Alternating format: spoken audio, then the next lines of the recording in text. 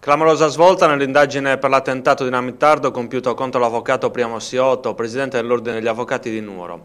Gli agenti della squadra mobile hanno arrestato su mandato del GIP Mauro Pugeddu un commerciante nuorese, Andrea Cocco di 29 anni, e un suo amico, Giuseppe Mingioni di 33 anni, operai.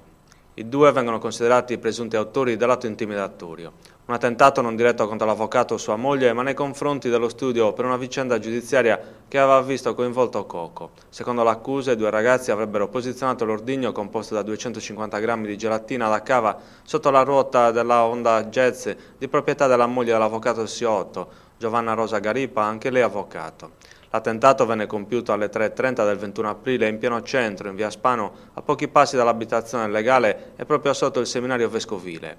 La deflagrazione danneggiò gravemente l'auto, infrangendo i vetri delle abitazioni circostanti. I particolari dell'indagine sono stati illustrati stamattina nel corso di una conferenza stampa dal questore Pierluigi D'Angelo e dal capo della squadra mobile Fabrizio Mustaro. Il questore ha espresso il plauso agli agenti della squadra mobile per la rapidità con cui si è giunti ad un epilogo di una vicenda che aveva colpito fortemente non solo l'opinione pubblica nuorese ma anche tutto l'ordine forense sardo per il ruolo ricoperto dall'avvocato Siotto. Un'inchiesta seguita personalmente dal procuratore capo Andrea Garau e dal sostituto procuratore Andrea Schirra.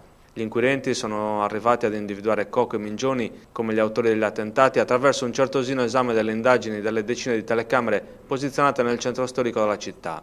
Attraverso la suddivisione in centri concentrici si sono potuti seguire i movimenti dei due attentatori che sono stati ripresi mentre prendevano l'ordigno, lo posizionavano e quindi si allontanavano a piedi dal luogo dell'esplosione. Andrea Cocco nel 2005 era stato fermato ad un posto di blocco, ne era nato un diverbio con gli agenti delle volanti che era finito con una denuncia per resistenza. Il processo, terminato nel 2011, si è concluso con la condanna del commerciante a 10 mesi. Due dei poliziotti si erano costituiti parte civile ed erano stati difesi dal legale dello studio C8, da cui la decisione di compiere l'attentato contro l'auto del titolare dello studio.